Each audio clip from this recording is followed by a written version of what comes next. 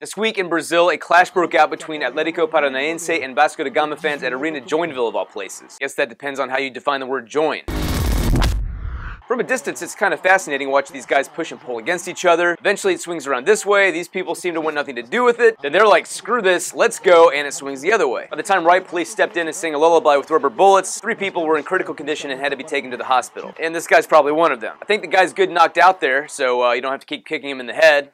Just a thought. Anyway, it's pretty insane how this sort of violence can spark in an instant. Typically, you find a substantial barrier between fans, but that seems non-existent here. Unfortunately, it's one of those things that can happen from time to time, and definitely in the back of your mind if you attend the game yourself. A friend of mine ran through a puddle of blood at a Galatasaray match when riots broke out there, but fortunately he managed to avoid any trouble. The worst thing I ever saw was an Arsenal fan getting beat on because he stood up cheering, revealing his jersey, but he happened to be sitting in the Everton away section. And by far the craziest thing I ever saw at a game in Brazil was a midget stealing the match ball, running into the stands, refusing to give it back because Bahia were playing like crap. Anyway, in the end, rivalries between countries are intense and can get ugly, so let's just hope that Brazil's World Cup goes off with nothing but good football and no one getting hurt. As always, thanks for watching our videos. Like, share, subscribe, and check out our channel where we upload new videos every weekday.